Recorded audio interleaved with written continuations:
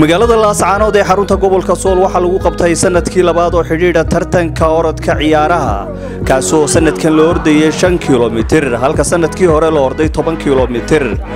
Wasaaradda ciyaaraha iyo dhallinyarada somalilan iyo jaamacadda sahal yunifersity ee magaalada laascaanood ayaa iska kaashaday qabsoomidda orodkaasi.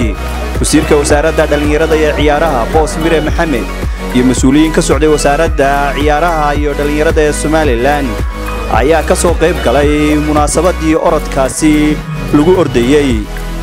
Ugu horrayn waxaa halkaasi ka hadlay guddoomiyaha jaamacadda sahal injineer maxamed jaamac sahal filibiin kaasoo sheegay ahmiyadda orodku leeyahay. Tartankani aan garab taaganaha dhallinyarada orodka waa tartankii labaad kii ka horreeyeyna sannadkii hore ayuu kana kii labaad weeye.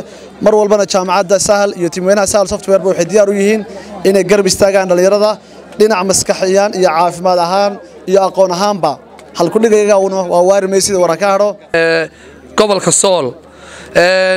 Runtii waa sannadkii labaad ee orodkan si toosoo xidhiidha ay wasaaradda dhallinyarada iyo ciyaaruhu u soo abaabusho.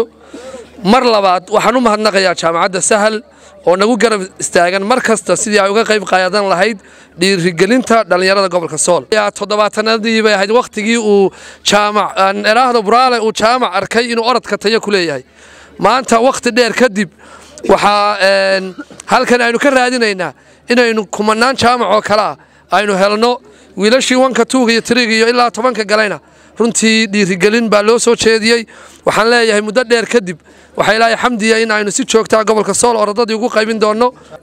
Waad ogtihiinoo gobolkan maanta aniga siday qiimaa ugu leedahay waa dareemi kara anugu.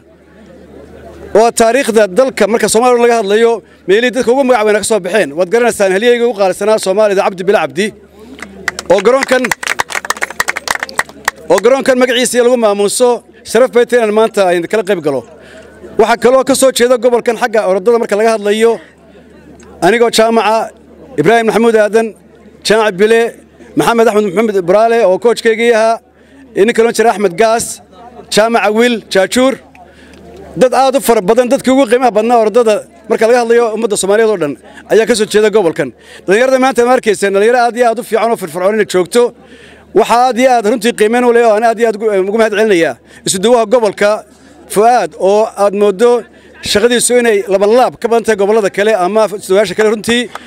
Tartankii orodada shanta kilomitir oo ay ka qayb galeen boqol iyo toddobiyo labaatan. Ilaahay baa mahad iskale orodkan shanta kilomitir ah igu guulaysiiyey marka labaad waxaan mahad u celinayaa wasiirka ciyaaraha boos mire maayarka magaalada u soo mahad celinayaa cali cabdinuur jaamac walaalkay oo orodkan orodka ka horreeyey kaalinta koobaad galay. Aan isagana halkiisa aan kaga sidayday maantana isagoo aan joogin aan anigu u bedelay kaalinta koobaad ugu dambayntii waxaa halkaasi ka hadlay wasiirka ciyaaraha iyo dhallinyarada somalilan boos mire maxamed kaasoo bogaadiyey dhallinyaradii tobanka ahayd ee kaalmaha hore ka gashay orodkaasi. Waxa weeyaan maanta waa guul inaynu orodkan halkan ku qabanno waana de siyaasaddii dowladdan. In degmo walba sidaa ha loogu qabto degmo walba sidaasaynu u ordaynaa. In yar haddaan hore u sii galo waxaan halkan uga mahadnaqayaa cid ciddii taageero ka geysata ciyaaraha ama ordo ha ahaadaan ama kubada ha ahaadaan waxaanu doonaynaa shacbiga inaanu ku soo jeedinno iminka ciyaarahan ama orod ha noqdaan ama kubad ha noqdaan halkan lagu qabtay. Waxaa toos u maalgelinaya wasaaradda dhallinyarada ciyaaraha. Waxaa barbarkayga taagan guddoomiyaha jaamacadda oo orod hore maalgeliyey